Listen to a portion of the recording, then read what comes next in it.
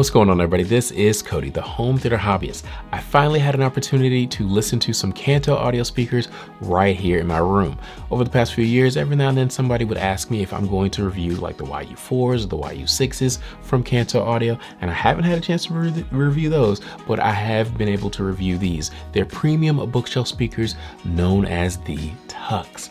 Um, a few weeks ago, I released or I published my unboxing and one of the commenters said they actually own the TUKs and they're like, I really like them. I like the way they sound. And honestly, I can see why these sound good, but they also have a lot of really cool features um, for a speaker. And a lot of it deals with this remote right here. So I'm going to be talking about this remote in different sections. And in fact, let's just go ahead. Let's start off by talking about one of the features that I like. Now, these are active or powered bookshelf speakers. And what that means is you've got a power cable that you plug into the wall and it's got the amplification built right into the box. So all you need to do is plug that power cable in, connect your favorite source, and you can begin playing music.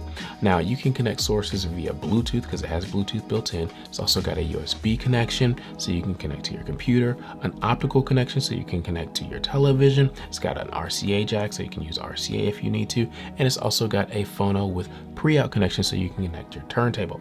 It has a subwoofer out connection so you can connect your subwoofer and it has a headphone jack up front here. So you can connect all sorts of things including headphones to this speaker. And this is the primary speaker and this is the secondary speaker. Now the primary speaker out of the box is denoted as the left speaker. But for some people uh, this has to be the right speaker because maybe that is where your uh, plug is for your wall outlet, or maybe that's where all your connections are on the other side of your rack. And so you really need to make this the right speaker and not the left speaker. So you can switch this to be the left, or excuse me, the right speaker. All you need to do is grab the remote, push the push and hold the track forward button and all of a sudden it will switch to be the right speaker. And what it does is down here's a little LED indicator. The LEDs start pulsing to the right. And I like that because it looks really cool and lets you know that this has become the right speaker.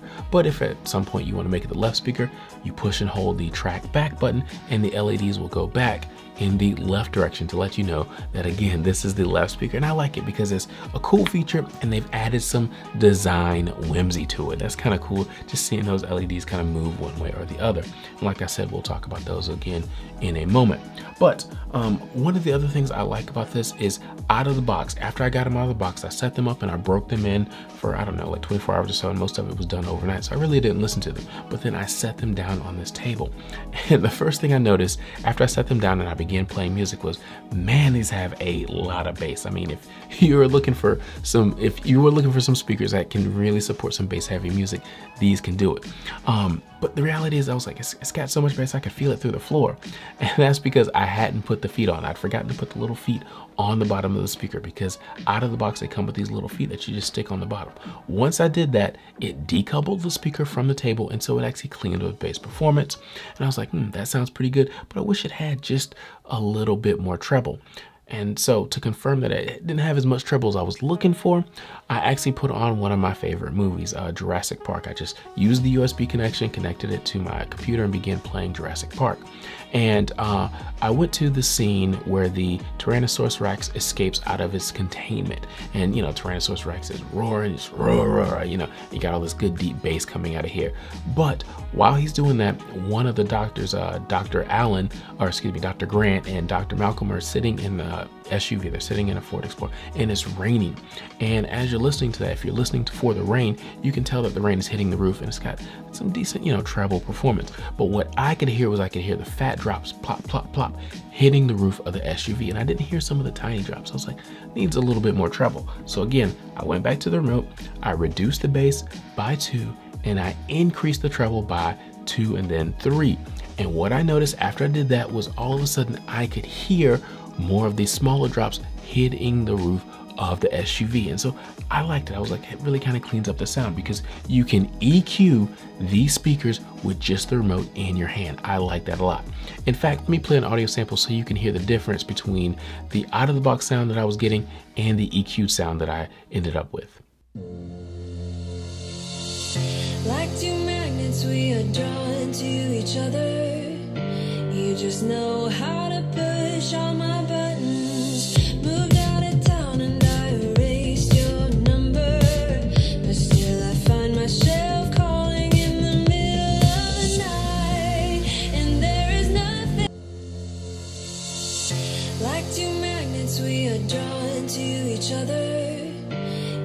You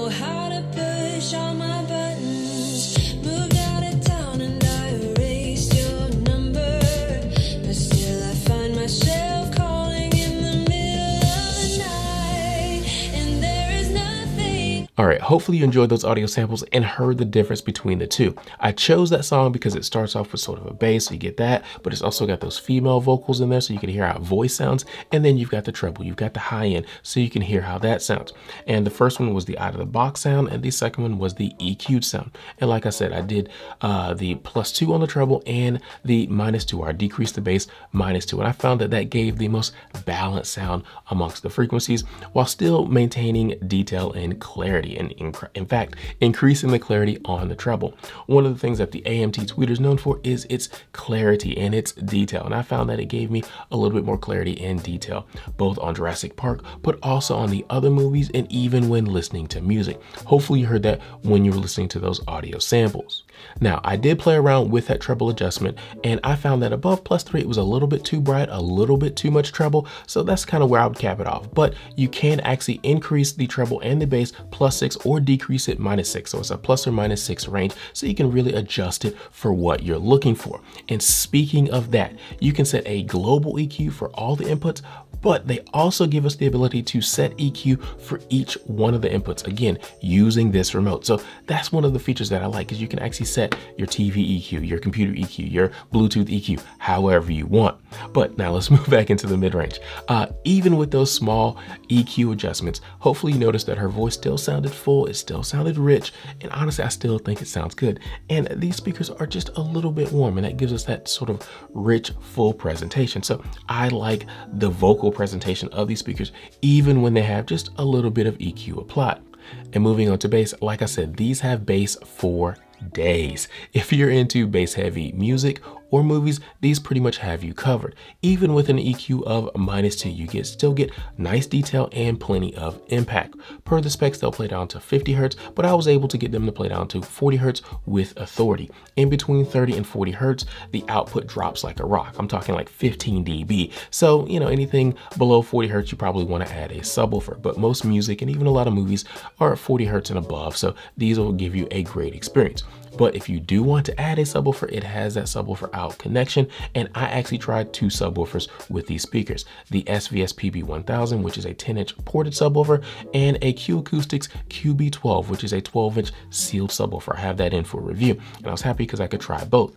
And the first thing you need to do once you connect a subwoofer real quick is you need to activate the crossover. It crosses over at 80 Hertz, but what you have to do is you have to push and hold this subwoofer button on your remote and hold it for like five seconds. Then these lights will flash down here and it will activate that crossover for you. Then all of a sudden you're sending more of the bass to your subwoofer than the speakers are getting and you can get a good experience. And from my experience with those two subwoofers, I have to say I prefer a sealed subwoofer with these speakers because they're ported and they play good bass. I don't know if you are getting a whole lot more out of a ported subwoofer. You can hear, you know, obviously a bit more depth and detail, but a sealed subwoofer gives you the depth, the detail, and also that transient, those fast transients. So for my money, I would go with a sealed subwoofer. Now the good news is Kanto Audio does sell a sealed subwoofer, or a few sealed subwoofers rather, uh, to go with these. So I would probably go with those. Do you need them? No, I don't think you need it, but it is a nice to have. Now, I did connect these to a television via that optical connection, and I have to say, whenever you connect these to a television, you need to make sure that you go into your audio output uh, for your television and set it to PCM. Not Dolby Digital, not DTS, not Auto, or anything like that. Set it to PCM, because if it's not set there, you're gonna hear strange digital noises coming out of your box, not the music and vocals that you're looking for. So make sure you set it to PCM. But I watched several movies because I wanted to check the soundstage for these speakers.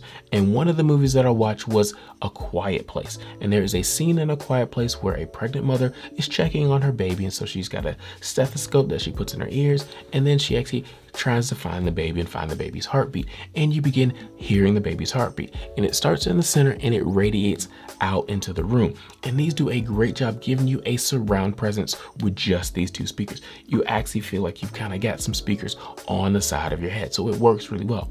Now, is it as good as a dedicated like 7.1 setup or an Atmos setup? No, it's not quite as good as that because if you have that setup and I have an Atmos setup here, uh, you'll notice that that sound starts in the center and it actually kind of moves to the left and it's really coming out of sort of your left surround speaker over there. Whereas with this, it's kind of is in the left ear, but it's also in the right ear as well. So it doesn't do as good localizing the sound, but it does give you a nice surround experience. Now, to check the height of the soundstage, I used the latest James Bond movie, No Time to Die. In that movie, there's a scene where uh, James Bond is in a car chase and he kind of gets surrounded by all the bad guys in this square and they begin shooting at his car and he's in there uh, protected and everything, but he's in there and um, during this scene, there are some church bells playing overhead, ding, ding, ding, ding. And so this is actually a decent Atmos presentation. And I noticed with these that these definitely give you height, but it's not dedicated Atmos. It's not like you have dedicated speakers up there, but it does give you height to give you that sense of, okay, there are bells ringing overhead. So I think they do pretty good with height, but just not dedicated Atmos speakers. All right, let's talk about comparisons really quick because I know some of you out there are asking, well, how did the TUKs compare to the Fluance AI61s? How do they compare to the KEF LSX2s that you reviewed? And I'm going to talk about that here. But the first thing I want to say is honestly, it's not a fair comparison at all between these three speakers because they are priced completely different. The Fluance AI61s, they're like $299 as I record this. These TUKs, $899. The KEF LSX2s, $1,399 again as I record this video. So we're talking about five, six hundred dollar price differences in these speakers. And you know, you kind of get more features as you kind of move up that price range a little bit. So they're not really all that comparable, but I will give you some of my thoughts. So as far as the Fluance AI61s are concerned, these have better bass performance than the Fluance AI61s. Whatever they've done to tune the bass in this is impressive because these are five and a quarter inch drivers and those uh, Fluance AI61s are like six and a half inch drivers, but these have better bass performance. I also believe that these tune up a little bit easier with the EQ settings, bass and treble, compared to those AI61s. They both have bass and treble adjustments, but I do think that it's easier to tune these and you can get a much more pleasing sound out of these overall, whether it be in the you know high end at the mid range and at the bass with these speakers. And partially, I think that's due to the fact that it's got that AMT tweeter there versus that uh, Silk Dome tweeter on the Fluance AI61s. Both sound good, but I do think that these sound better. Just want to put that out there. Okay. These also have a few more features, including the phono preamp out, and they have the um, ability to again adjust the EQ for the different uh, inputs that you have. It's got a headphone jack. You know, it's just a few more features here that the Fluance AI61s have. Okay, so I do think that these are better. Now, the KEF LSX2s. Um, sonically, I would say these and the KEF LSX2s are a little bit closer sonically than these and the Fluance AI61s, my opinion. Um, but I will say that I think that the KEF LSX tunes lean just a little bit more music Whereas compared to these, I would say these lean just a little bit more home theater. Now, can you use home theater or music for either one of the speakers, the KEFs, the TUKs, or even the Fluance AI61s? Yes, you absolutely can. But between the KEFs and these Kantos, I would have to say that that's how they lean. Now, I do think that with those KEFs, you get a better treble uh, presentation from them than you do out of these. I think you get a little bit more detail, a little bit more clarity out of the treble regime from the LSX2s. But again, these dominate in the bass department with these drivers. It, really just does, does dominate. So kind of have that going on. Um, now, as far as features are concerned, there's a lot more features with those LSX2s compared to these. Number one, you have to use a wire to connect these two speakers together with a TUKs. With the LSX2s, you can wire them together if you want to, but they can also talk between one another wirelessly. So that gives you greater flexibility when you're placing the speakers. You also get a lot more colors with those as well.